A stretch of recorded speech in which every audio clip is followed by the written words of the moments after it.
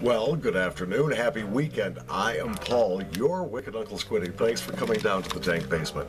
Today we're taking a look at, uh, and I grabbed the wrong one. Here it is. Today we're taking a look at a Wilson's of Sharrow staple, a standby, and one that I've never reviewed before. I've no idea why. Turn down the weather report a little bit. From their album Heavy Weather, that is Weather Report. The song is called Birdland. You can buy it on iTunes, I'm quite certain. Anyway, this is the Wilson's Natural. What do I expect? Natural tobacco, of course. Let's take a look and see what we have in the tin. It smells like tobacco, base flower. The grind is lovely, silky, no irregularities that I can feel with my fingertips. Moisture is somewhere between low and medium. I'm going to take a nice big fat pinch of this. You can pinch whatever you want. If you don't happen to have some of the uh, Wilson's Natural handy, then sniff whatever you would like. Oh, that's a big pinch. We'll see if the boy can handle it here. You ready? All right, up yours.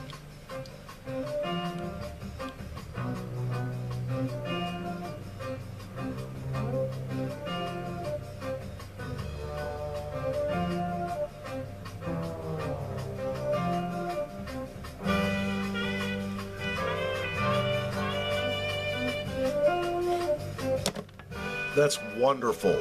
Yeah, it's just pure, natural, soft tobacco.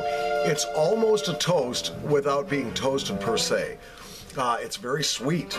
Natural tobacco sweetness, light Virginia aroma, a little grassy, just a little hint of grassy, a little hint of cream to it.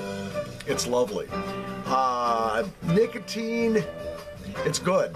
On a scale of 1 to 10, where 1 is insignificant and 10 is potentially dangerous, this rate's about a 6 on the nicotine scale. Of course, that will vary depending on your tolerance and how big a dose you take of the snuff. Uh, on the Squiddy scale, where 1 is disgusting, disgusting, vomitous, pukey, blah and five is ah nirvana heaven for my nostrils. I'm giving this a five out of five kids. Get some wilson's natural from wilson's of sharrow from the dank basement your snuff ubermeister. Your wicked uncle squiddy. Thank you for watching. You guys are the best